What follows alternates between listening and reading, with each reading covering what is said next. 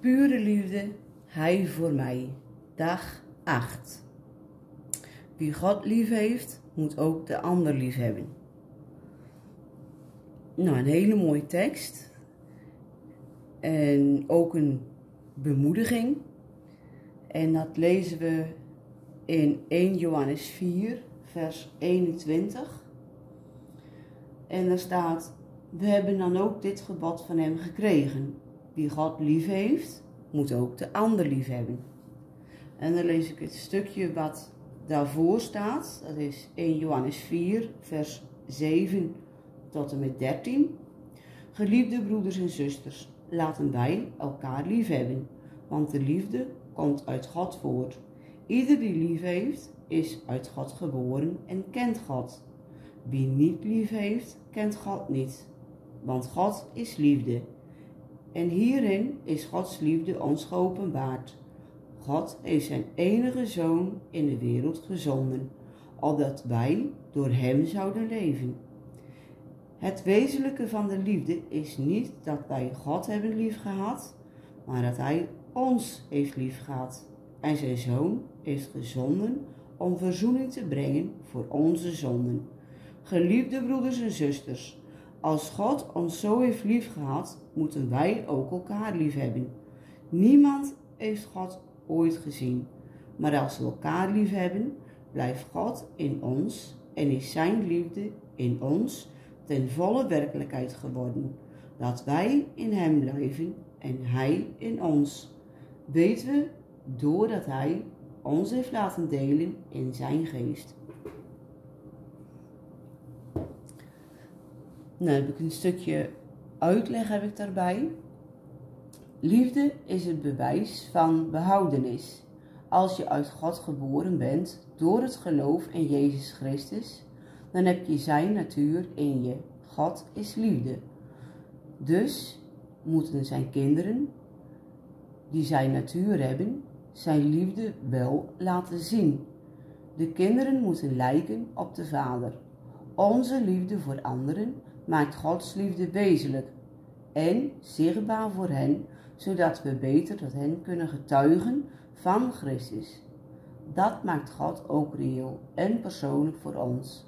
Alleen maar in de Bijbel lezen over Gods liefde is niet genoeg. Probeer die liefde in je hart te ervaren door anderen erin te laten delen. Net zoals de waarheid het wint van de leugen, wint de liefde het van de vrees. Naarmate je groeit in je liefde voor God, zul je beseffen dat je niets te vrezen hebt, want je Vader heeft alles onder controle. Je vertrouwt diegene die je lief hebt en geloof en liefde zullen je de overwinning op de vrees geven.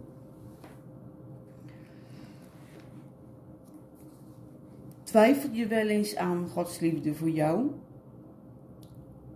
Of aan God dat Hij onze zonden niet zou vergeven? Dat is menselijk, maar niet wenselijk. God is een God van liefde voor hen die Hem lief hebben.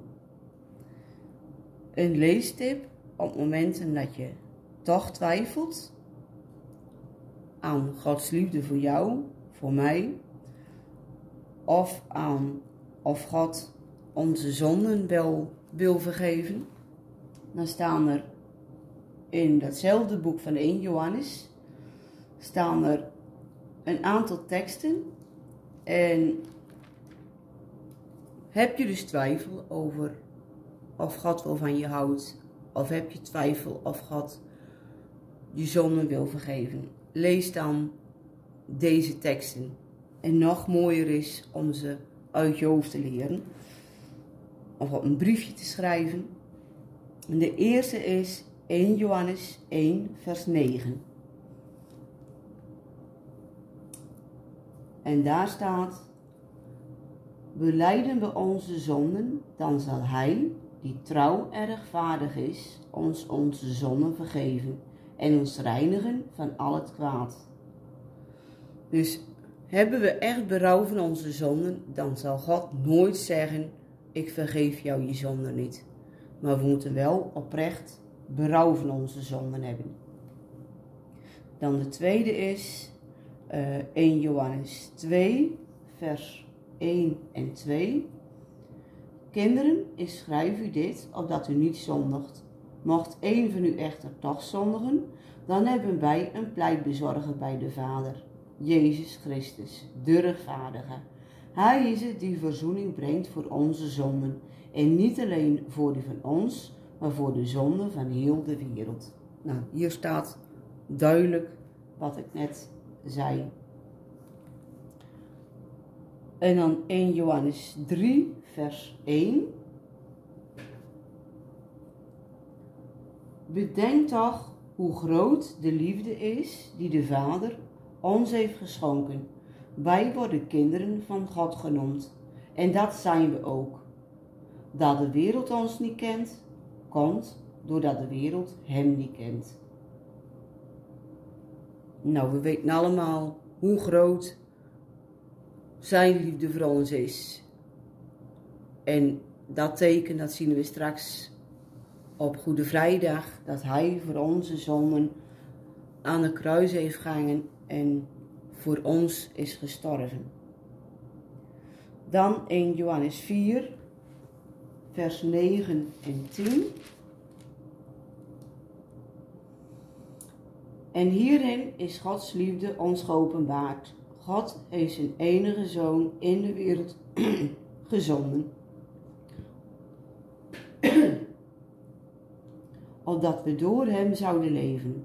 Het wezenlijke van de liefde is niet dat wij God hebben liefgehad, maar dat hij ons heeft liefgehad en zijn zoon heeft gezonden om verzoening te brengen voor onze zonden. Nou, als je die tekst leest, dan mogen wij alleen maar amen op zeggen. En dat we zeker mogen weten dat Hij ons lief heeft en dat Hij onze zonden vergeeft. En dan hebben we 1 Johannes 5, vers 11 en 12.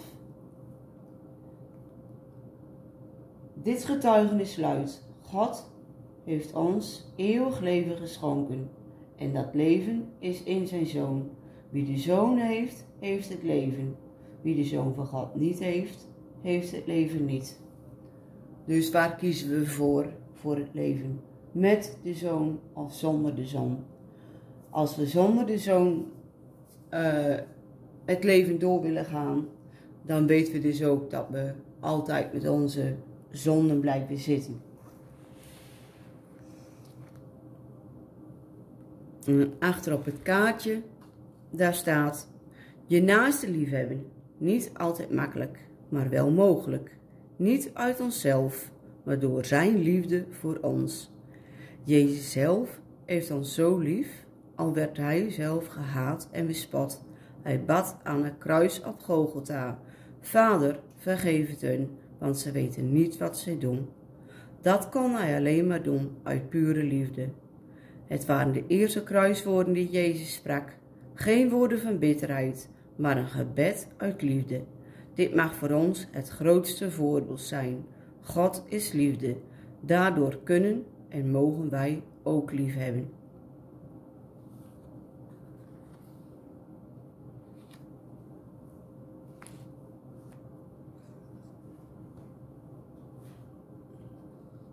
We gaan een kaartje kleuren. En voor deze keer heb ik weer de uh, Stabilon stiften. En nou, ik heb zo even mijn kleurtjes neergelegd en uh, ik kijk wel wat het gaat worden. Dus ik hoop dat jullie weer fijn meedoen. En ik heb uh, gisteren wat persoonlijke vragen gekregen. Uh, en de eerste vraag was van, wat doe je eigenlijk voor werk? Nou, degene die hier nu uh, naar kijken naar deze video, die hebben de box, pure liefde, hij voor ons. En nou ja, de kaartjes die daarin zit, uh, dat is dus een klein gedeelte van mijn werk om hiermee bezig te zijn. Uh, ik schilder. Ik vertelde gisteren al over, nou, hoe het begonnen is in een revalidatiecentrum waar ik uh, onder behandeling was voor mijn spieren. Daar heb ik dus voor de eerste keer geschilderd. En ja, schilderen is dan ook wel uh, mijn grootste passie. En daarnaast handletter ik, uh, bijbeljournaling, tekenen, portrettekenen vind ik heel leuk om te doen. Maar wat ik echt het mooiste is, dat is uh, bijvoorbeeld uh, op vrouwendagen of op vrouwenverenigingen. Uh, ja, vertellen van mijn passie, maar vooral Gods passie voor mij. En het werk wat ik daardoor mag doen. Dus heel vaak combineer ik bijvoorbeeld de Vrouwendag combineer ik door een passend schilderij naar het onderwerp te maken. En daar vertel ik dan iets over. En dat is dan uit te breiden met een workshop erbij. Dus dat is eigenlijk uh, wat ik doe. En nou, ik zeg altijd het houdt me van de straat, maar het houdt me, uh, nou, het tijdvullend zullen we maar zeggen. Dus we gaan nu uh, kleuren.